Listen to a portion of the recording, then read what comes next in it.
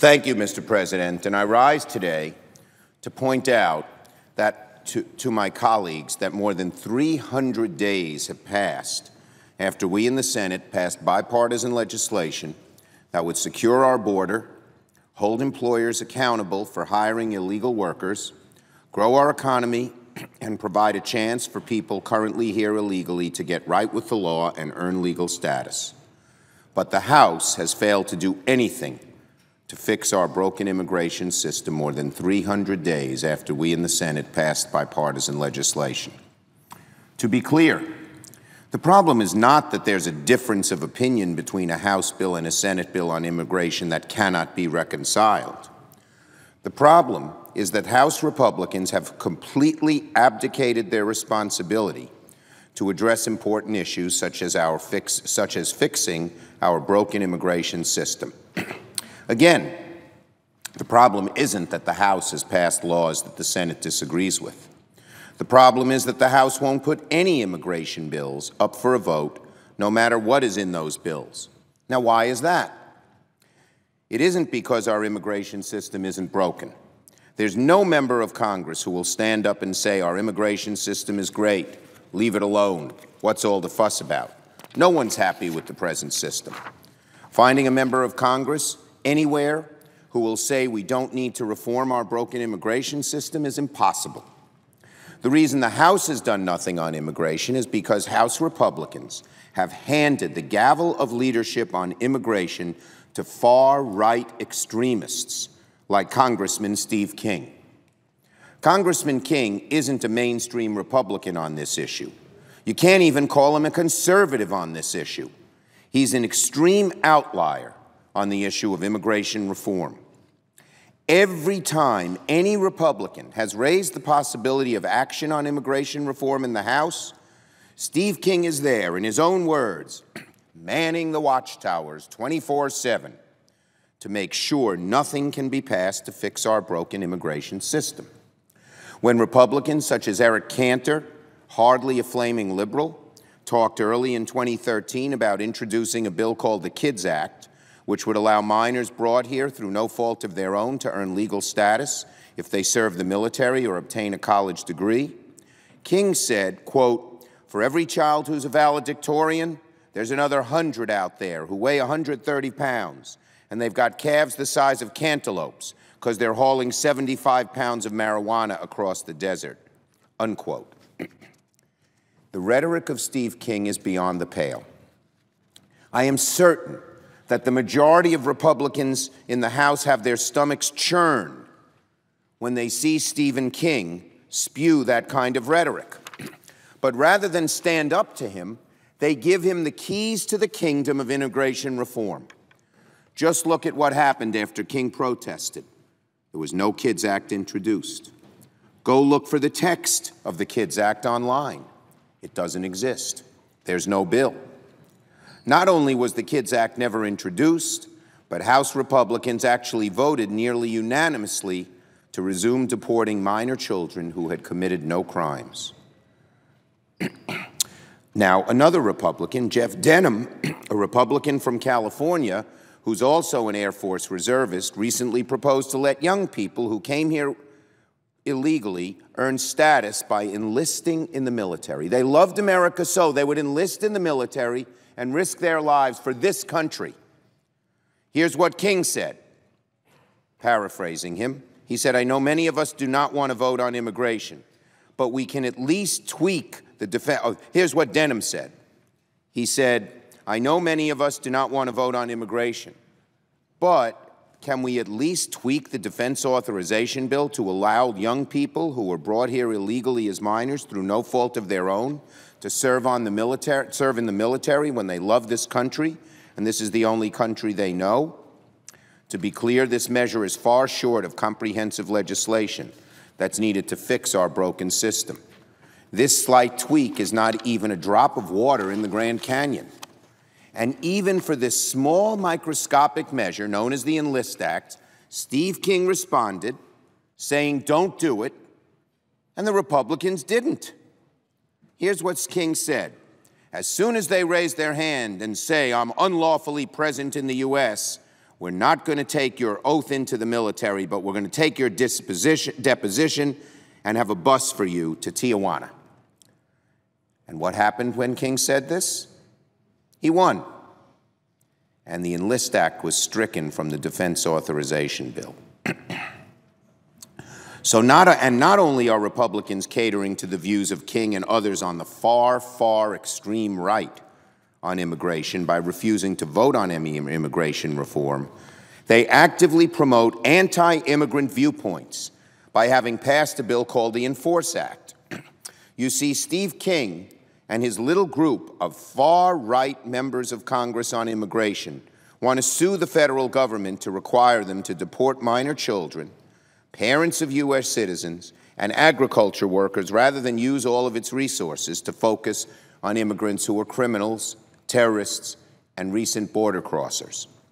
But members of Congress, as most everyone knows, do not have standing to sue the federal government because under our Constitution, congressmen are not allowed to sue every time they disagree with a decision of the executive branch.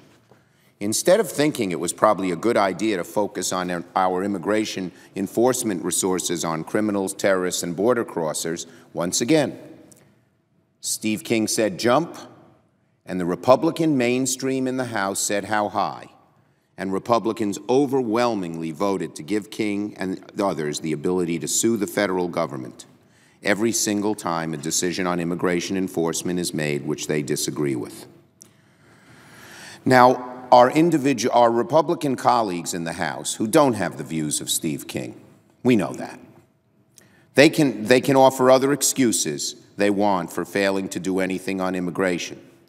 For instance, they try to blame the president. They say the president's to blame because he won't enforce the law. Now, the record shows that he does enforce the law. In fact, many of the more liberal people, many of the immigration groups are angry with him because they think he's enforcing the law too much.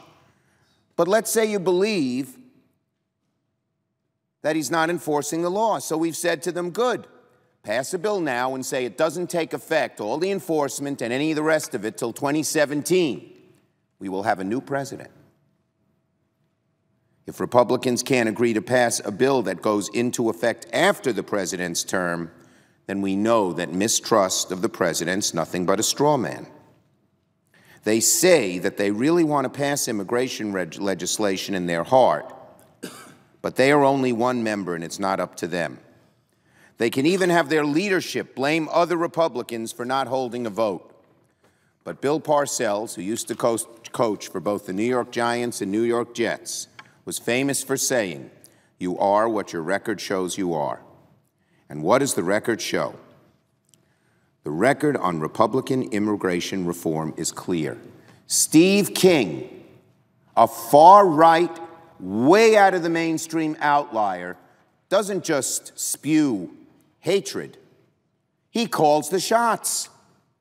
They listen to him. The Republican Party, the party of Abraham Lincoln and Theodore Roosevelt and Dwight Eisenhower and Ronald Reagan and George Bush, all of whom had much different views on immigration than Steve King, is following Steve King on immigration. And let me say, Mr. President, they are following Steve King over the cliff. Because not only are they hurting America, but because they are so afraid to buck this extremist, and he is extreme on immigration,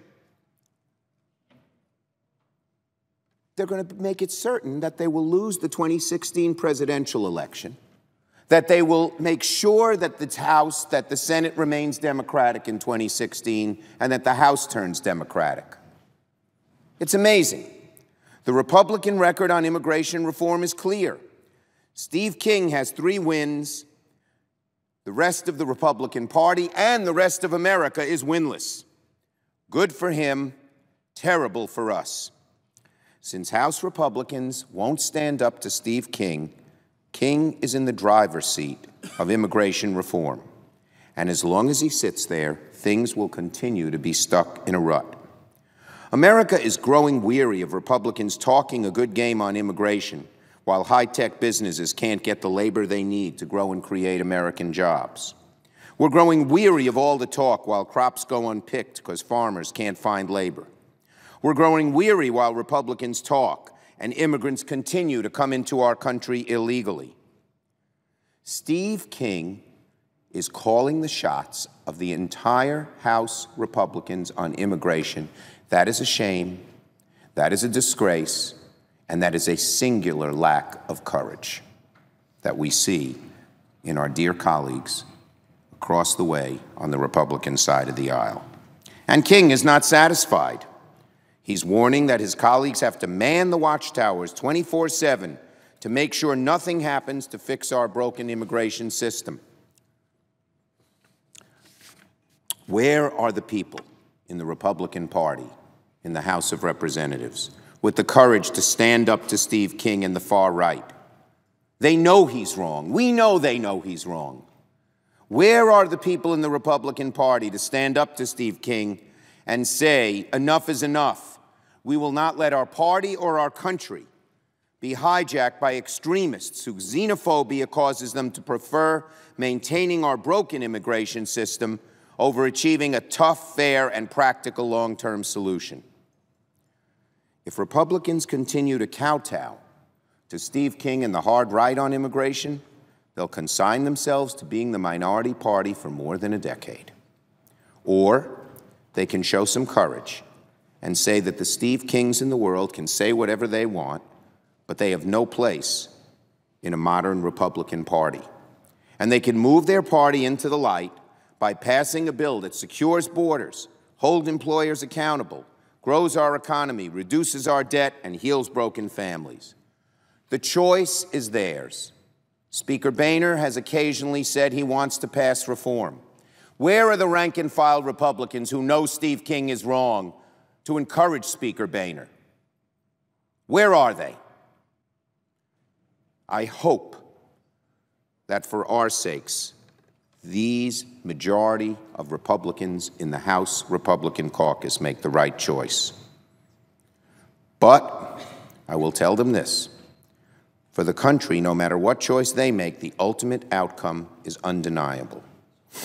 Immigration reform will pass this year with bipartisan support and a bipartisan imprint, or it will pass in future years with only Democratic support and Democratic imprint, because Democrats will control the Congress and the White House. The right thing will ultimately done, will ultimately be done. But hopefully Winston Churchill will not be right in saying that will only be done after everything else is tried. Republicans in the House, stand up to Steve King. You know he's wrong. You know you cringe when he says what he says. Don't let him dictate policy. Mr. President, I yield the floor.